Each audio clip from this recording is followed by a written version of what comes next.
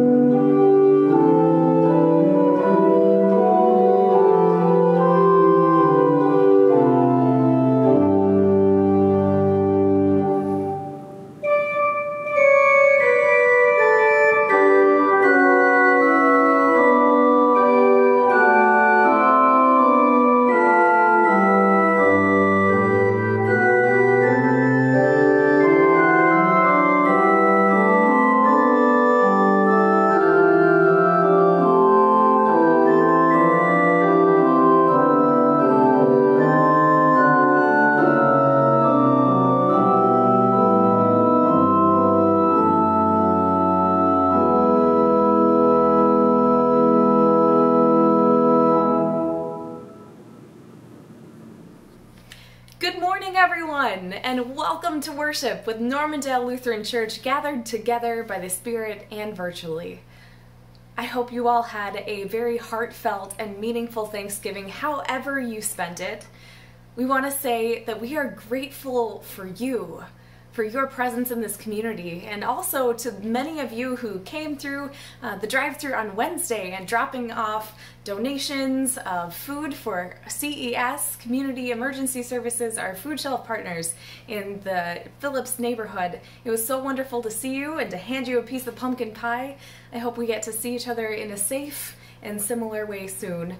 Um, today, we embark into a new season, into Advent. So, happy Advent, you guys! Um, keep a lookout for an Advent mailing coming your way with the readings and themes and prayers for the season that you can use in your own home. A few opportunities that we don't want you to miss out on. Number one, decorate the tree. There is now a Christmas tree lit and waiting for you in the awning of the main entrance of Normandale. And you are invited to either make an ornament or just bring an ornament that represents your family to add to that tree. So you can have like a family, Normandale family tree there um, to represent us and to be together this Christmas. Make sure um, that you either have a photo on it or your family's name so we can see you clearly. We fill that tree with love for one another this Christmas. There will be a drive through uh, viewing of it on December 13th, so stay tuned for more information about that. We've got a porch sitting special event happening as well. Absolutely everybody, everybody is invited to join us. Uh, we'll have guests Rita Davern and Ramona Kitto Stately um, as we watch a screening of their documentary, Stories I Didn't Know which is about Rita's family and Pike Island, which her family used to own, and her exploration of relationships and Dakota land and our shared history. So join us, that'll be December 9th at 4 p.m. Links will be on our website and also in the weekly mailings. The Center for Healing and Wholeness uh, has something for us in this time of social distancing. They're offering a new uplifting service uh, meeting folks right where they are by sending activity mailings and encouraging cards and letters, uh, phone visits, and surprise gifts, and more. So, if you or someone you know would appreciate that engagement, just contact Cheryl Nielsen. Uh, I'm sorry, Nicholson at the Center for Healing and Wholeness. And more information for that on our website as well, or call the church office. Finally, the National Lutheran Choir Christmas Festival is happening. It'll be happening virtually, so from the comfort of your own living room, we hope you will tune in. Um, again, held virtually this year, December 11th at 8 p.m. and free. Can't beat that. There will be music for the healing of the world from all around the globe. Peace and joy that not even a pandemic can take away. We hope that you will consider joining us for all of these exciting opportunities. And yet, amidst all that excitement, we also have sobering news um, deaths of our saints again this week. So, we also share um, and ask that you surround with prayer and comfort Mark Rohde and his family uh, upon the death of his parents, both Clarence and Isabel and also the family of June Pearson, as she quickly followed her husband Lloyd this week in death, and they are now reunited again. So thanks be to God for their lives, for their witness, and for the grace they now receive. Now, wherever you are on your faith journey, and wherever you are this morning, however you come to this worship with us, we want you to know that you are welcome here. Lay down the burdens you've been carrying this week and settle in. We prepare our hearts together for worship. Beloved people of Normandale Lutheran Church, we gather together every week to worship, and we start off our worship services acknowledging the ways in which we have been called to service of others and in service of God. And in many ways, we have succeeded, and in many ways, we have fallen quite short. It's a time when we bring our sin forward, the ways that we have been disconnected from God and disconnected from others in our lives.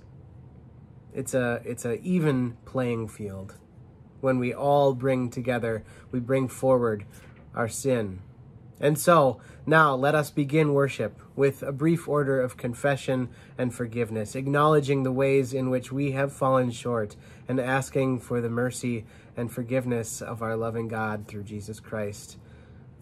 Let us pray. God with us. Even in Advent, we confess that you can seem far away. You are hidden when we need you near. In our hurt, doubt, and fear, we do not try to draw closer to you. Instead, we place blame, we lose hope, we lash out against you, our neighbor, even those we love. Forgive us, we pray, and come save us. Let your face shine until our tears are dried, our sins are faded, and our hope is restored. After all, we belong to you, and in your hands we can be made new. In Jesus' name we pray. Amen. Beloved body of Christ, God created humans in God's own image and called us very good. God came to us through the messy process of birth with all of its blood, sweat, and tears. God rejoices at every person who wakes from their slumber to prepare for the coming of Christ. God welcomes all who turn from sin and toward holy living. God opens God's arms to all who work to embody faith. There is grace and forgiveness for all of our sins. And so, as a called and ordained minister of the Church of Jesus Christ, I hereby pronounce to you forgiveness, full forgiveness of all your sins. Go, go forth, awake with the Holy Spirit, embodying your faith in Jesus Christ. Amen. Let us sing together now.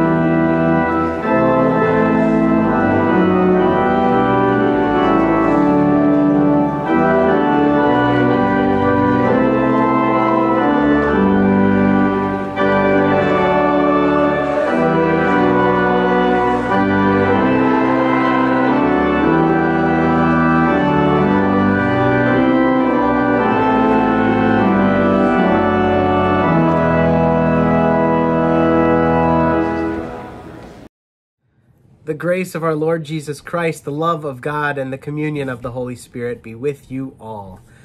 Let us together pray the prayer of the day.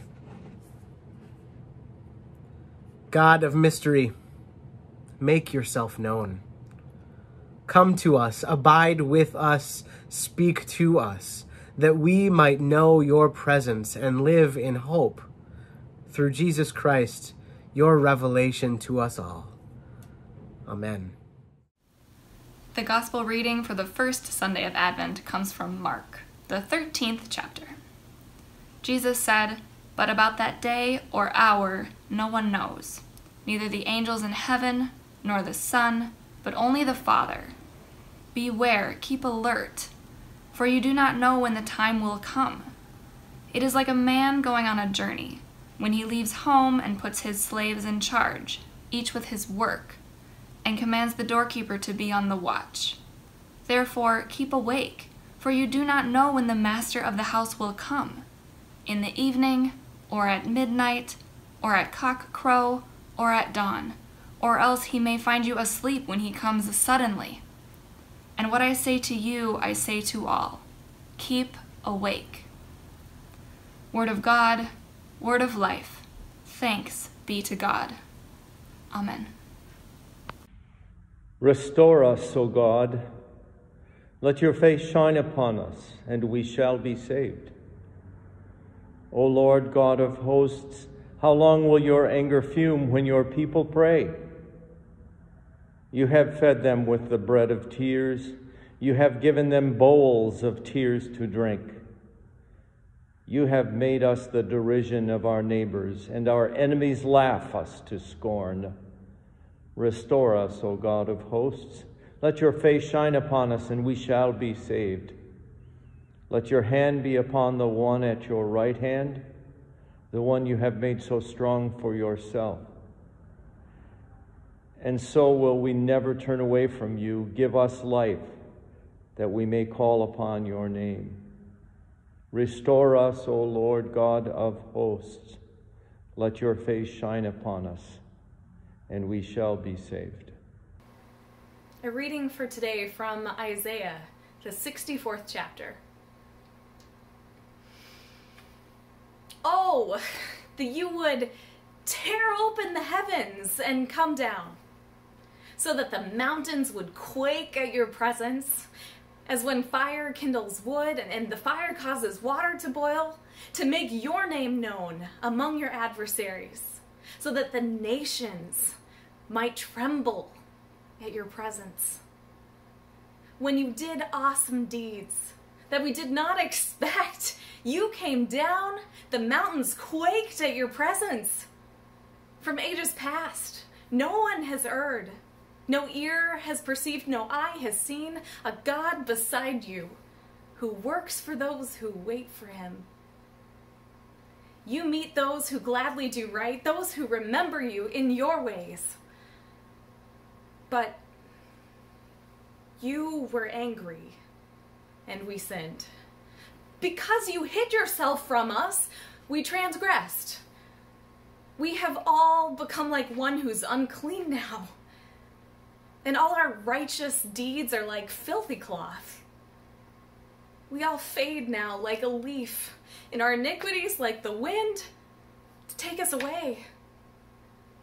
There is no one who calls on your name or, or attempts to take hold of you, for you have hidden your face from us. You have delivered us into the hand of our own iniquity. Yet, O oh Lord, you are our Father. We are the clay and you are the potter. We are all the work of your hand. Do not be exceedingly angry. O Lord, do not remember our iniquity forever. Now consider we are your people. The Word of God, Word of life. Thanks be to God.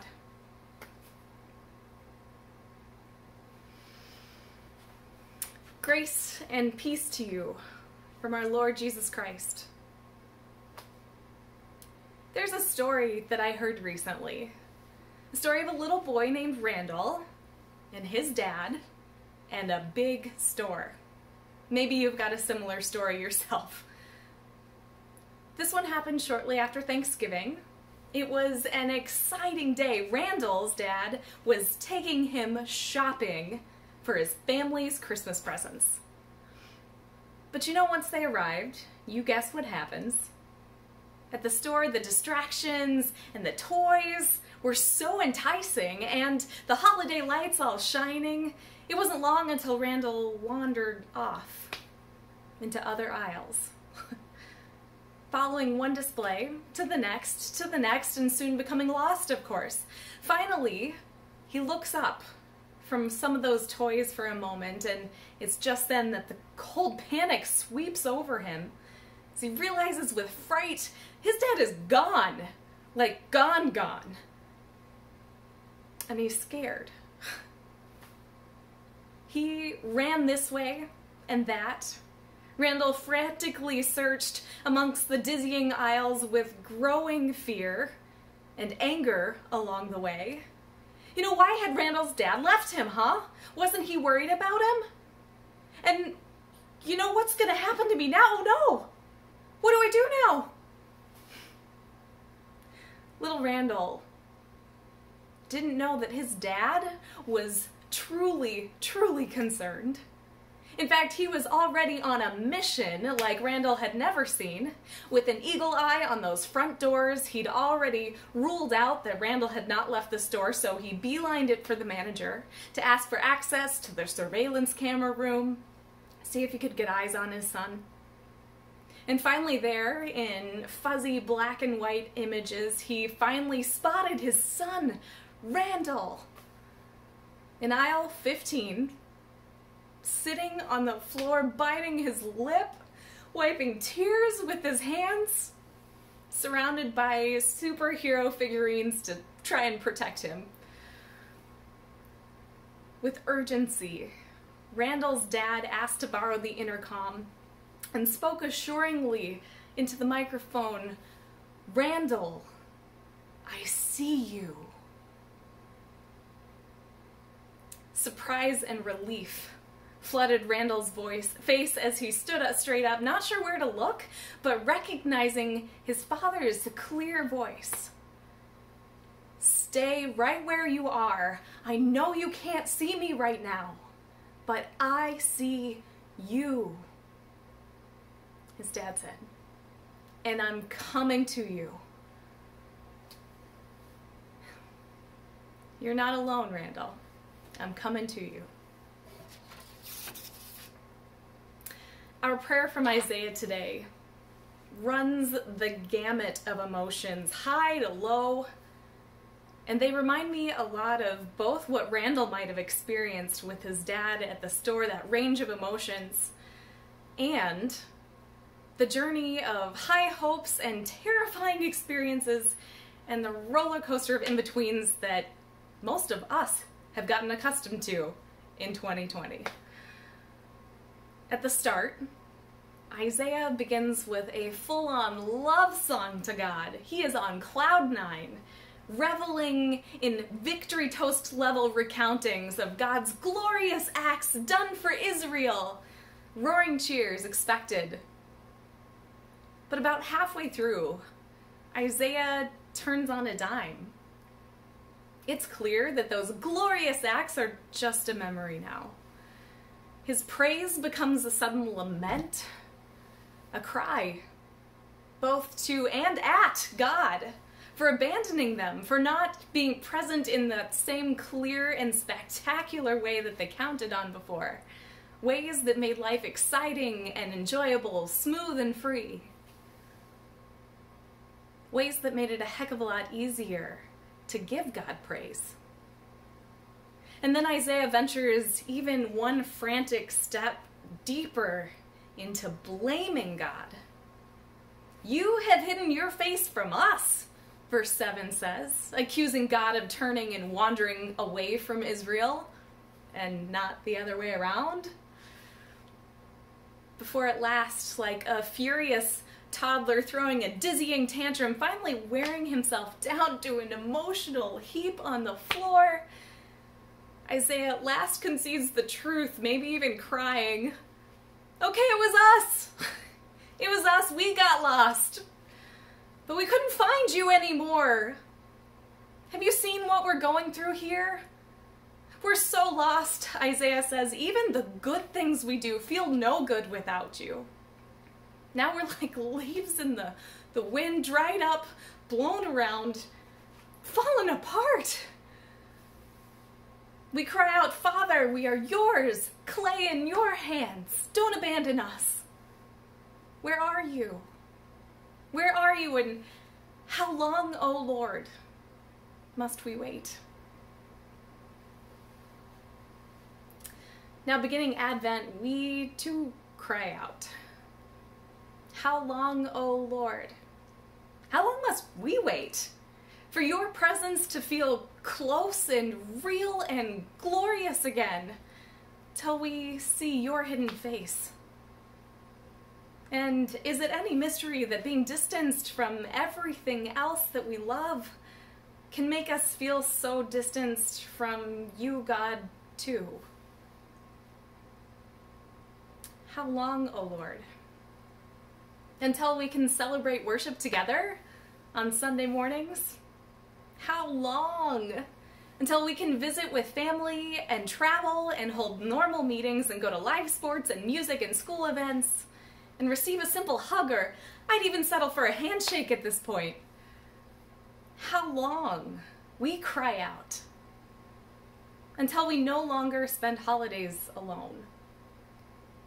Till our medical professionals can get a handle on this tidal wave and we can get our heads and hearts around the death, the loss, the long lasting conditions, and the grief sweeping our country and our world. And while we're at it, how long until we aren't split along self interested political seams of self interest, right? Until we can live in not just some shallow semblance of peace in our communities, but in communities of hard won mutual trust. And not just for some of us, but across every socio-economic, cultural, and racial divide, how long until that? How long, O Lord, till we have a sense of safety and normalcy again, and a way of living that feels sustainable? God, have you turned your back on us? Have you turned your face from us? Do you hear us cry? Are we abandoned? Can you see us? Even when we can't see you? And are you on your way? Or, in some of our circumstances, do we, like Isaiah at first, have it a little backwards? We're sitting back blaming and waiting for you, oh God, while you are actively leaning in waiting for us. Are we sometimes clay in your hands resisting molding as the world prepares for your great coming? What a place to start an Advent journey, right? Waiting, longing. And technically, according to our Christian liturgical calendar, the year starts with Advent now. So it's New Year's. Happy New Year's, everybody! Happy, uh, Welcome to, uh, this. Reality. To the loneliness, the fear, the grief that are real. And also so true to the Advent experience. Waiting for God to act. Waiting for God to personally come near to us again and perhaps realizing our own need to be remade even as we wait and cry out. Isaiah 64 closes with an impassioned appeal to God for to look favorably on Israel again and to remember that they are God's own people. But I'm inclined to believe that this weight that Israel experiences and goes through, it has far less to do with God remembering than it did the people remembering. Remembering that God is a caring and concerned parent. That if they wander into danger, God hopes against all hope that they will turn and come safely home again. And when something terrible happens, God hopes that they will cry out to their Father, Mother, Creator to come near. The experience of absence and waiting is our Advent starting place. But we get to remember that that's not even close to where God's starting point of faithfulness and nearness and presence with us begins. Even when we can't see it plainly. That has always been God's through line. And if we listen to the words on scriptural loudspeaker during Advent, we know that God sees us, even now. Even when we struggle to see God's presence plainly, God sees us. God is coming to us.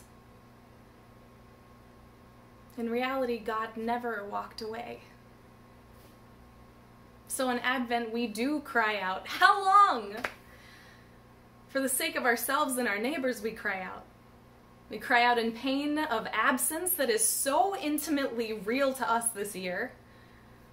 We cry out for all the things that ache in us, that worry us, as we too find ourselves lost, sitting in a heap on the floor seemingly alone in our very own self made aisle 15. And it's okay to cry out. Because God hears us. And because crying out itself is a sneaky Trojan horse like thing that looks and feels like protest and pain, but eventually also reveals this hidden little cautious gem called hope.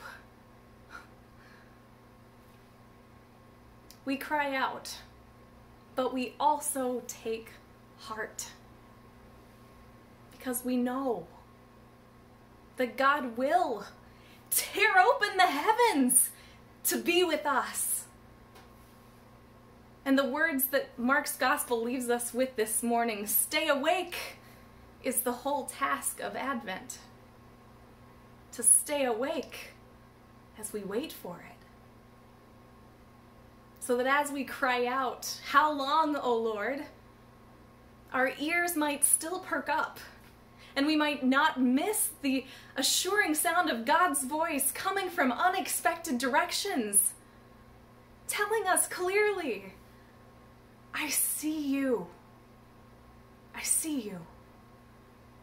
Even if it's difficult to see me right now, I see you. And I'm coming to you. Friends, you are not alone with your cries. Amen.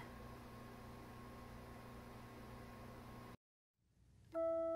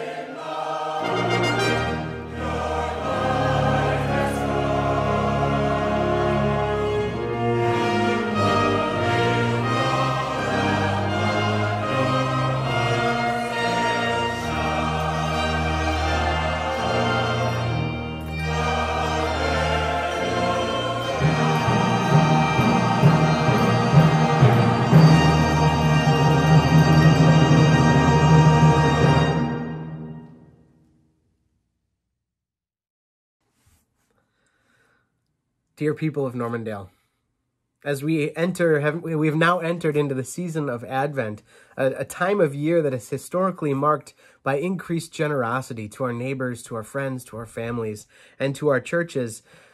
We are in a bizarre time of pandemic when uh, when doing things like service has become much more difficult. And serving those who we historically have served at the Christmas season is increasingly difficult. We have been astounded through the last many months at your generosity as a congregation, the ways that you have shown up to help those in need since the beginning of, of the coronavirus pandemic. Thank you for your generosity. This year, we're looking at a Christmas season unlike any we've seen in our uh, in our collective memories. Um, historically at Normandale, we sponsor families from the Normandale Housing Ministry, one of our partners uh, that we've been involved with heavily since its inception, and SAFSM, the Sub Saharan African Youth and Family Services of Minnesota, two of our long standing partners. We've historically sponsored families with Christmas gifts uh, at this time of year. And because of the, the pandemic, um, we're unfortunately only going to be able to do that online. And what we've been hearing from our partners, as we've asked, how can we be the most helpful to you? Uh, what we've been hearing is that actually this year, uh, money, cash gifts is is going to go a lot further. So what we're looking to do is to, to together, organize together to get uh, $50 prepaid Visa cards for uh, the 86 Normandale housing individuals and for the 30 plus SAFSM families and presenting them in, in holiday baskets um, at the Christmas season. So for the next two weeks, we're asking for your help. We need to mobilize to make this happen. You can go online to normluth.org slash give and go to the giving page and there are uh, sort of drop down menus that you can choose. And if you choose the Joy of Giving Fund and, uh, and sponsor a family $50 uh, or more, uh, to, to get these prepaid Visa cards. Your generosity is so much more important now than ever. And so thank you so much. Thank you so much for your generosity, not only of your finances, but of your spirit and the ways in which you have been uh, serving others and reaching out and loving each other. It is truly, truly astonishing and heart. Uh, it's heartening to see and hear the stories of how you're looking out for your neighbors and looking out for one another. So thank you. And with that, I would like for you just to take a moment to breathe as you consider uh, your generosity and your giving this this Christmas season. And imagine those for whom you usually worship with. If you're new to this community, welcome. We're so glad you're here. We can't wait to sit in the pews with you but take a moment to reach out to one another, uh, reach out to one another to share a sign of God's peace. Whether that's uh, in the in the messages below and on YouTube or on Facebook, or a text message or an email or a phone call when worship is is done, uh, reach out and offer a, a sign of peace to those who come to mind that God has put on your hearts. So the peace of the Lord be with you all. Thanks be to God.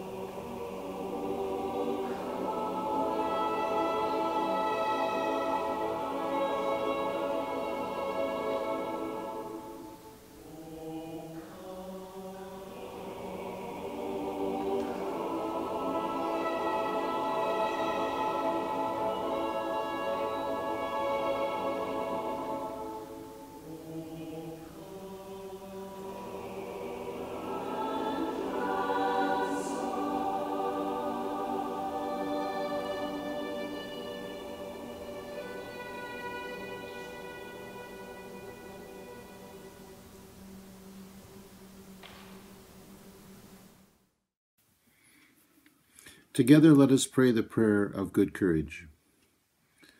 Lord God, you have called your servants to ventures of which we cannot see the ending, by paths as yet untrodden, through perils unknown. Give us faith to go out with good courage, not knowing where we go, but only that your hand is leading us and your love supporting us. Through Jesus Christ our Lord. Amen. Go in peace to love and serve the Lord. Thanks be to God.